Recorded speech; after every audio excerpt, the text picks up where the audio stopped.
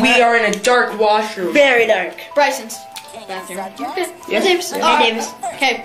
So we're in here. Some people fail to realize there is a hidden message in a one dollar bill. people think If you look very closely at about it's almost not. anything, it's not. there's a hidden message. It is weird. Inside Leo's chocolate Uh, pie. this picture right here, you can see words.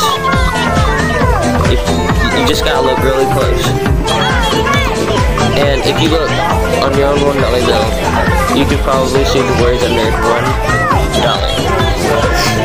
Alright, so what you wanna do is flip your dollar. You gotta look very closely, okay? In the triangle, pretty much a pyramid. Look very closely okay?